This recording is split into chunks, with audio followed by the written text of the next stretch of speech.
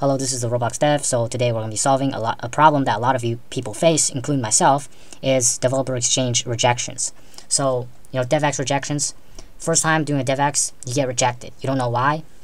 You've done some commission, you earned the Robux. You shouldn't be rejected. So you have no clue, and then you, you start thinking about yourself, did I do something wrong? Most of the time you didn't. If you did, for example, you were getting banned and stuff, you might have, since they, they want you to have a good standing on Roblox, like your profile is good standing. But most of the time, it's not like that.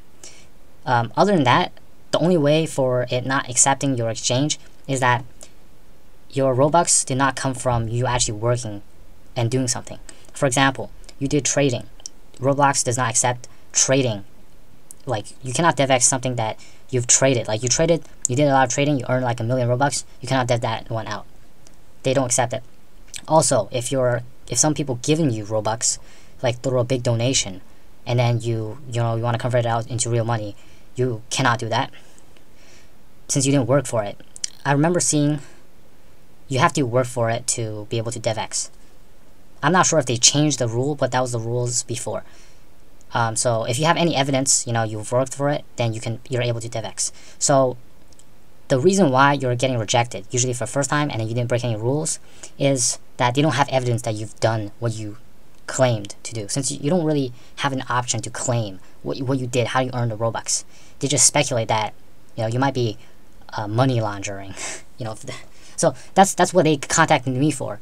You know, they, they said it was kind of suspicious. It might be money laundering.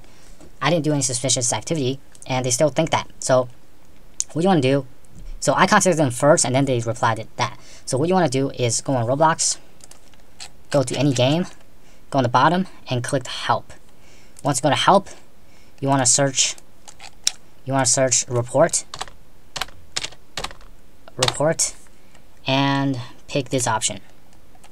And then go down here and then do this, contact them. And then you want to report your DevEx not getting through by going here and selecting by DevEx. And then the problem is on your PC or whatever.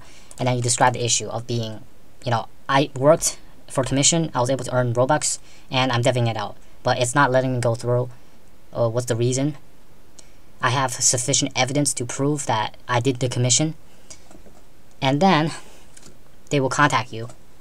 If they didn't contact you, you want to write it again since I wrote it two times before they contacted me to give evidence. And then once you have, once they contacted you, it's like, we need some evidence that you've uh, done this and we need sufficient evidence. We they will say they do not accept Roblox or Discord evidence as actually evidence, but they do accept it.